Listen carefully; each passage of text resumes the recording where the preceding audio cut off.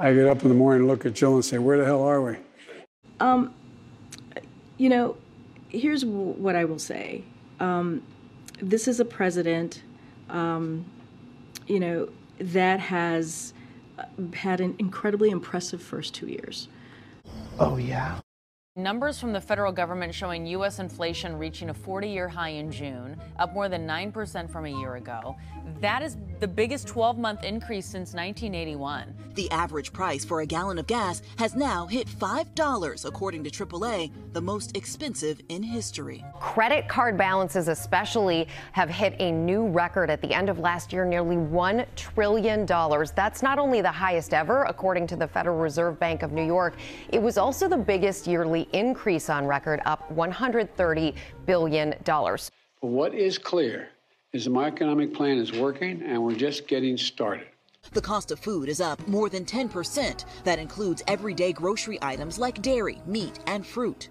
Energy up a whopping 50%. The difference is striking. Economists say compared to last year, the average American family is paying $460 more per month for goods and services. Is everything okay? Kidding me?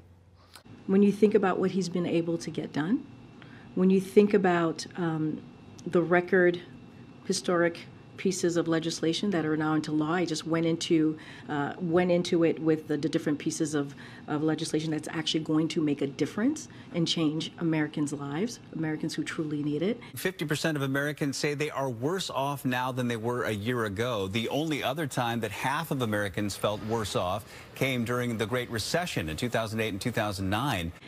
And that's, I think, is what the American people are looking for. They're looking for someone that can actually deliver like the, that, like the president has done. The latest NBC News poll shows 70% of Americans believe the president should not run for a second term, including 51% of Democrats. That's why I'm running for reelection. I'm scared. Help me. Please. But look at what I've inherited and what I've done.